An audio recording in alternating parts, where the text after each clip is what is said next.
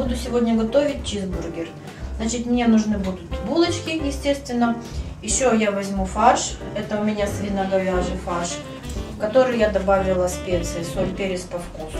Понадобится сыр твердый, соленые огурцы, лук, который я порезала заранее полукольцами, майонез, горчица и томатный кетчуп. Значит, поскольку у меня булочки вот такого вот размера, значит, из фарша я формирую котлетки. Фарш я добавила только специи, соль и перец. Все.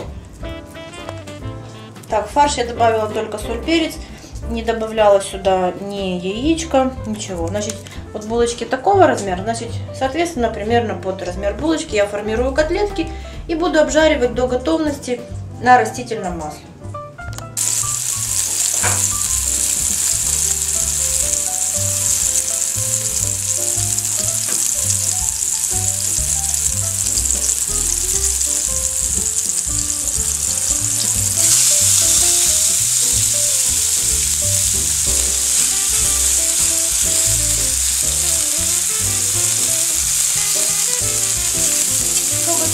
Жарим на другую сторону. Ждем, когда вторая тоже поджарится.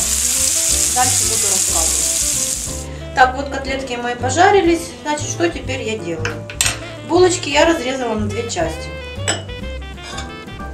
Смазываю одну часть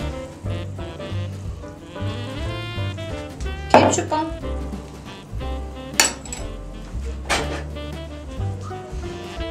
одну часть майонеза.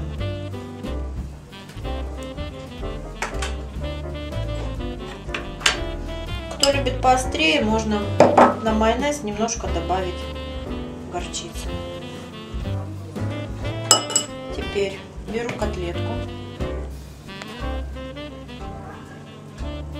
и укладываю на булочку.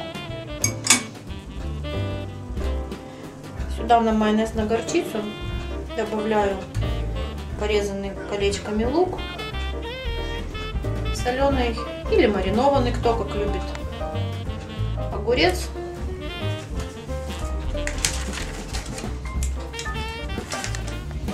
И на булочку кусочек сыра.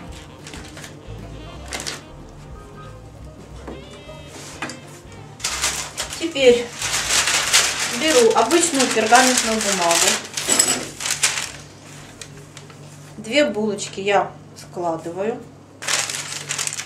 И вот таким образом вниз, чтобы удобно было их заворачивать. Заворачиваю.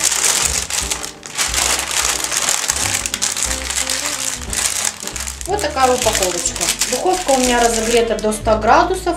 На какой-то противень или какую-то жароустойчивую на какую-то жароустойчивую посуду, укладываем и запекаю. Духовка 100 градусов 20 минут.